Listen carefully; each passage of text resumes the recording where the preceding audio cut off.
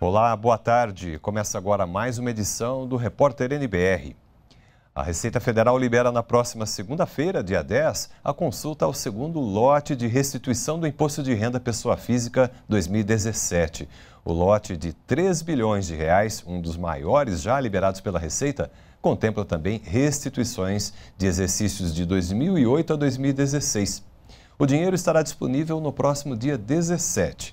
E para saber se teve a restituição liberada, basta acessar a página da Receita na internet ou ligar para o Receita Fone. O número é 146. O presidente Michel Temer está em Hamburgo, na Alemanha, onde participa da cúpula do G20, grupo que reúne as maiores economias do mundo. Nesse momento, Michel Temer participa de um jantar oferecido aos chefes de Estado. Agora há pouco, ele assistiu na Filarmônica da cidade um concerto exclusivo para os líderes desse grupo. O enviado especial da TV NBR, João Pedro Neto, tem mais detalhes dessa viagem. Na abertura da reunião de cúpula do G20, os chefes de Estado e de governo das maiores economias do planeta foram recebidos um a um pela anfitriã, a chanceler alemã Angela Merkel. No primeiro encontro entre os líderes, uma reunião informal sobre o combate ao terrorismo, o presidente Michel Temer disse que o uso de inteligência e a cooperação entre forças policiais são estratégias de efeito nessa área e citou as Olimpíadas do Rio como um exemplo de sucesso.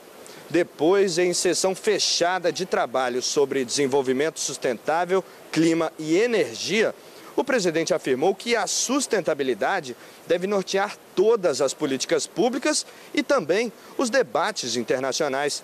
Michel Temer reafirmou aos líderes o compromisso do Brasil com os Objetivos de Desenvolvimento Sustentável e com o Acordo de Paris sobre a mudança do clima. Lembrou ainda a meta do Brasil de reduzir em 37% as emissões de gases do efeito estufa até 2025, ao destacar o aumento de recursos para enfrentar o desmatamento na Amazônia. Segundo o presidente, o combate às mudanças climáticas só se dará efetivamente com o uso de novas fontes de energia. Ao longo do dia, paralelamente à cúpula do G20, Michel Temer também manteve encontros bilaterais com o presidente russo Vladimir Putin e com o primeiro-ministro da Índia Narendra Modi.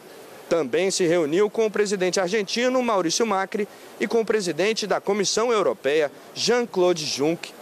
O encontro aconteceu em meio às negociações pelo acordo de livre comércio entre o Mercosul e a União Europeia. O Brasil assume a presidência do bloco neste mês de julho. De Hamburgo, na Alemanha, João Pedro Neto para a TV NBR. E o ministro da Fazenda, Henrique Meirelles, que também participa do encontro do G20, divulgou nas redes sociais um vídeo sobre a reunião que teve com os representantes do BRICS, quando o grupo decidiu defender uma maior abertura comercial, além da representação em órgãos como o FMI. A reunião concluiu, em primeiro lugar, que é interesse dos países emergentes uma maior abertura do comércio internacional com tratados de livre comércio cada vez mais abrangentes, visando propiciar acesso aos mercados de grande porte pelos emergentes, de maneira que empresas brasileiras, por exemplo, tenham maiores oportunidades de exportação, gerando empregos no país. A segunda questão diz respeito às instituições multilaterais, tipo o FMI, Banco Mundial e etc é importante cada vez mais que os países emergentes tenham uma representação e voto nessas instituições que represente o tamanho das economias emergentes hoje no mundo, fazendo com que essas entidades tenham uma ação mais sincronizada também com os países emergentes representados, portanto, de acordo com as suas economias.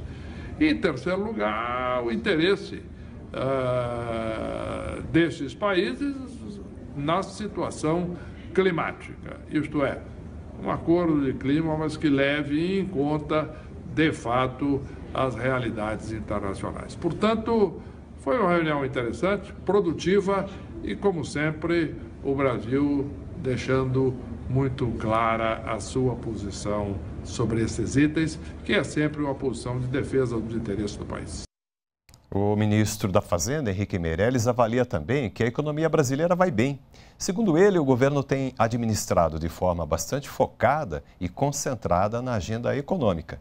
Meirelles disse ainda que o mercado tem mantido relativa estabilidade e sobre os ajustes do cronograma de reformas, Henrique Meirelles destacou que a modernização da legislação trabalhista está caminhando e as mudanças na Previdência devem ser discutidas no segundo semestre.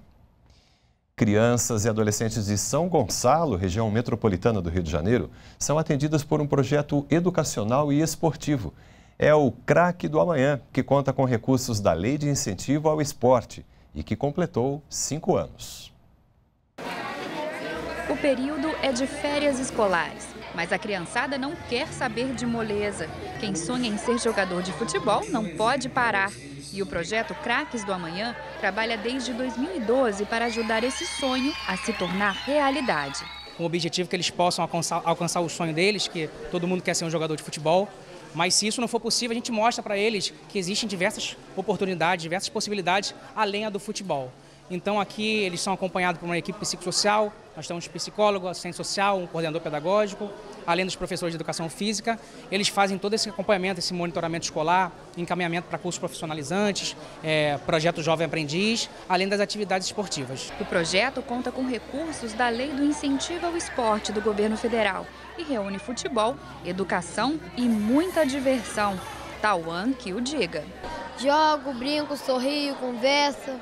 Aqui com minha tristeza, aqui que é minha alegria, aqui é onde eu jogo bola e aqui é onde eu vou. Eu tenho certeza que é onde que eu vou realizar o meu sonho. O esporte é uma coisa é, que faz bem para a saúde e para a gente também poder se divertir e ter é, alguma coisa para fazer durante a semana, sem ser da escola para casa todo dia. No dia do aniversário do projeto, a programação foi especial. Já está tudo pronto para a festa que vai celebrar os cinco anos do Craques do Amanhã. Hoje são 200 alunos que encontram no esporte um caminho para um futuro. E mal sabem eles que para comemorar a data, vem surpresa por aí. E que surpresa! Nenê e Iago Pikachu, do Vasco da Gama, fizeram a criançada vibrar. Até Tauan, que nem vascaíno é, fez questão de abraçar o jogador. Muito legal, que assim nos ajuda a aprender que mesmo sendo de outro time, nos ama mesmo assim. A gente deve tratar com muita educação. E teve brinde, camiseta autografada e palestra para a garotada.